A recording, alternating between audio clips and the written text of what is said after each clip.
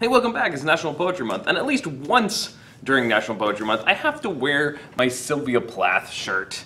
Team Plath. There's a story behind this shirt and the other shirt that matches it, and that is that I teach Sylvia Plath and Ted Hughes during the senior IB English class. Now, if you know anything about these two poets, Sylvia Plath married Ted Hughes, and they had a really tumultuous relationship. Her last book of poetry before she died was called Ariel. In Ariel, she writes a lot of very personal poetry about, in a big part, her relationship with Ted and just how very toxic that relationship is. It's some of her best poetry, but it's also very intense and very emotional. Then, tragically, she committed suicide. Ted Hughes wrote a book called Birthday Letters, which was poetry he wrote in response to Sylvia's death for the next several years. It was published later in his life, but a lot of the poems are direct responses to Plath's Ariel. It makes for a very interesting and provocative study when you have both sides to a really intense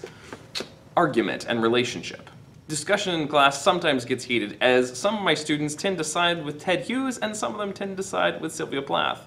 Sylvia Plath is at times erratic and intense in her struggle with mental illness, but Ted Hughes is unfaithful so many years ago, my second year teaching this actually, I had students who decided to make team t-shirts. They made Team Plath and Team Hughes t-shirts. Today I'm wearing the Team Plath t-shirt because I'm going to read you a poem from Ariel. It's called The Rabbit Catcher. And tomorrow I'll read the companion poem in Birthday Letters by Ted Hughes. The Rabbit Catcher by Sylvia Plath. It was a place of force, the wind gagging my mouth with my own blown hair tearing off my voice, and the sea blinding me with its lights, the lives of the dead unreeling in it, spreading like oil. I tasted the malignancy of the gorse, its black spikes, the extreme unction of its yellow candle flowers. They had an efficiency, a great beauty, and were extravagant like torture.